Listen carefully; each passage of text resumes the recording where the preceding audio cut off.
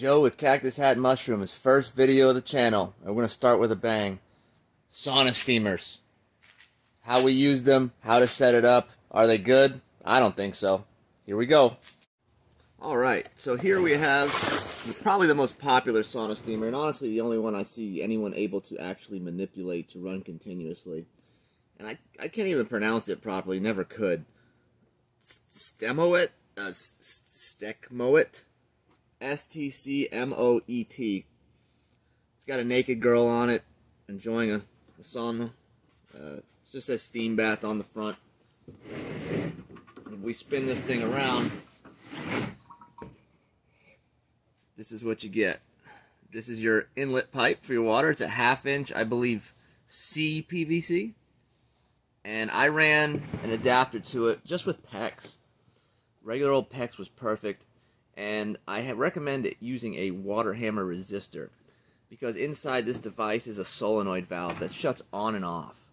And that constant shutting off suddenly creates a water hammer in your pipes and you'll hear knocking especially if you have an older home with copper pipes. And it can get kind of irritating. And you'll even notice the surges of water throughout your house as you're taking a shower and stuff in some cases. I definitely did. Here you have your steam outlet pipe. Depending on the model you get and sometimes you do get models that are different from each other, even though it's the same model number. And I'll talk about that in a bit. Very annoying.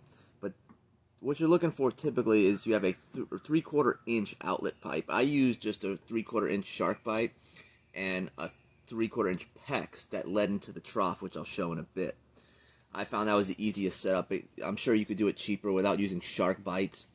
And you hear all kinds of nonsense about how PEX and shark bite can't handle the heat. What a load of crap. Use PEX. Use your shark bites if you want to spend that kind of money, but definitely use PEX. It can handle the heat, and I don't want to hear anything different. I, have been using the same setup for ages. I, you know, when I, when I used a sauna steamer, I no longer use a sauna steamer, and I'll show you later the barrel steamer that I built that I feel everybody should use anyways. Here you have at the bottom, it's a purge valve, emergency valve if it gets too hot the water has somewhere to go and you don't have a bomb. And then a drain valve.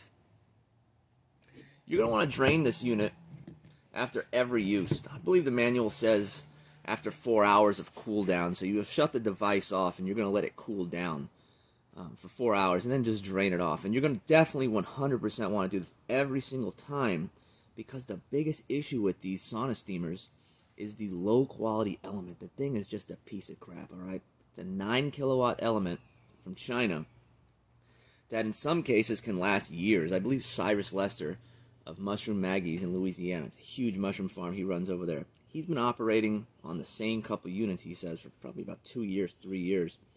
Uh, very little maintenance. I haven't had that luck. I've bought five of these in the last year before I said enough is enough and built something more permanent, thanks to Eric Myers. Let's open this up. Just pull the cover off normally has screws. And then when you open it up, this is what you're introduced to. It's kind of a mess. It's kind of confusing, and it's really hard to find information on how to actually rig this up. It's out there. You have to search the mushroom growing Facebook group. Um, in some cases, even Shroomery, but it it'll take you hours to scour through information a lot of times. And when you message people about it, they seem to be kind of vague about it. I don't know if it's a liability issue, which I get, Maybe I get in trouble this for this video. I have no idea. But uh, it's about time, I think, that someone actually just makes a video displaying how to rig this thing up. When you open your sauna steamer, it also comes with a controller. This part, I believe, goes in the shower, where you sit naked. These are temperature probes. And finally, you have a controller. Pretty fancy stuff. It's absolute garbage for our case. We're just going to leave that alone. Don't ever need it again. Alright, here's a good view of the inside. If you look closely, there's a section here that says 0.5, 1H, 2H.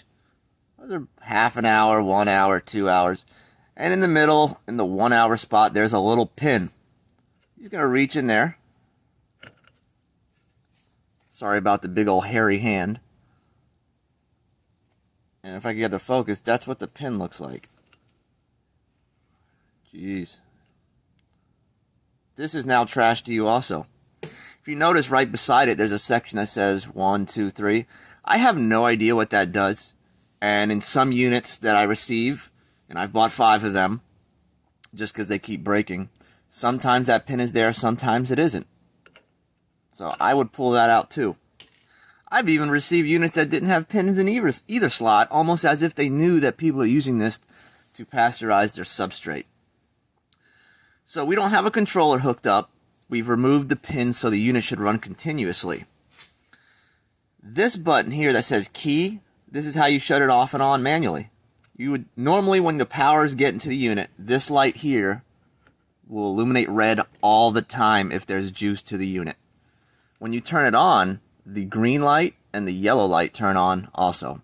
And you turn it on just simply by pushing this button and you'll hear the water start to boiling from the element turning on.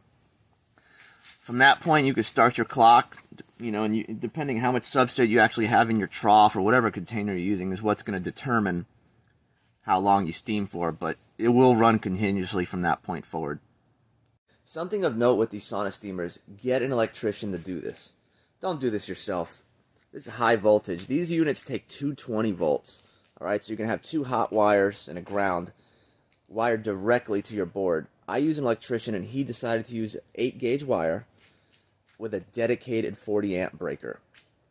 Anytime the breaker started tripping, it was because the heating element started failing and they started breaking. And then when I would open up the unit, I would pull out the element to find that it had broken yet again. So I would use another sauna steamer that I have for parts, which which is the reason why I had to keep ordering sauna steamers was because I needed more parts.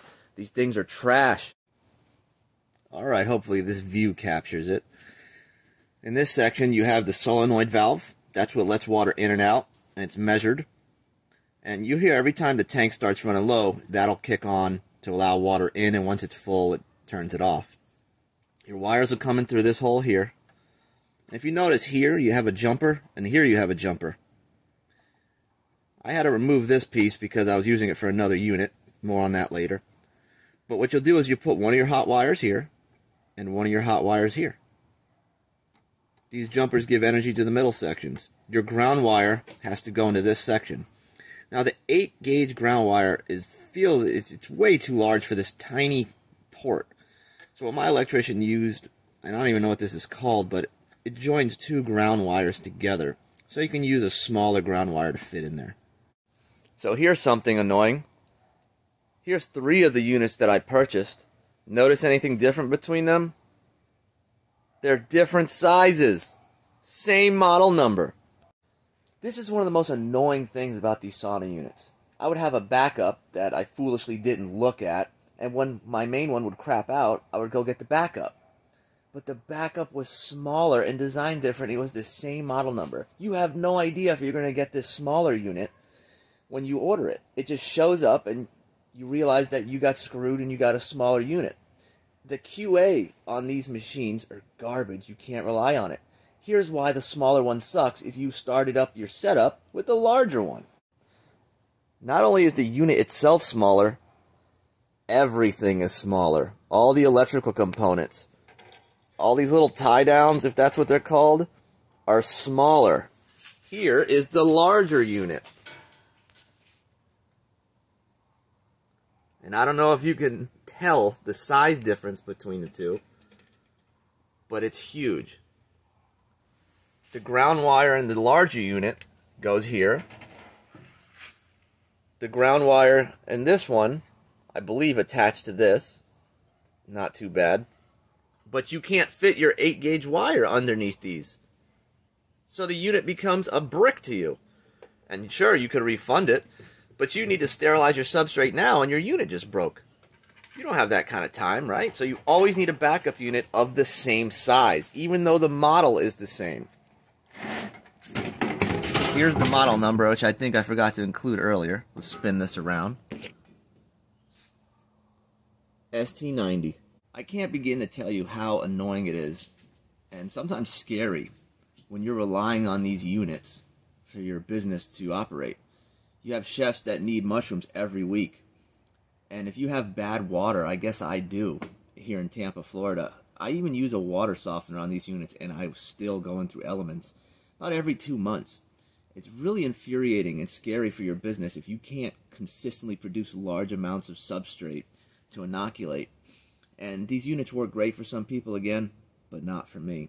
As you could see on this smaller unit, because I couldn't get in my electrical to work with it because it didn't fit. The 8 gauge wire didn't fit in there. I'm not an electrician. I don't know how to make those connections. I can't even go to a Radio Shack because they don't exist anymore to get the parts I need.